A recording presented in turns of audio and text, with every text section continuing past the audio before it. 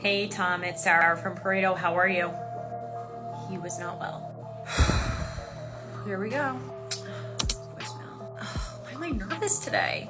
This video just brings me back to a time where I used to spend all day ringing people who didn't know who I was and got very little back from it. And I'll be honest, I hated it. What I think is the biggest mistake in our sector though, is that recruiters and salespeople in general spend all the time doing this. Cold calling, cold calling, cold calling, when they've got thousands of first degree connections on LinkedIn that they're not speaking to. Okay, let me ask you a question. How many people in your first degree network have you spoken to in the past, have you built a decent relationship with at some point in the past and you've not spoken to in the last year? Perhaps Perhaps they've even moved jobs or hired candidates in the last year and they've overlooked you and used a different recruiter. Because you're spending your time inefficiently picking up the phone to people who don't know you and you're not making the most of the connections you've got. So my advice is look, if you really want to do this, crack on, but if not, switch the focus and look at your first degree network because these people are way more likely to have a warm call and respond to you in the first instance.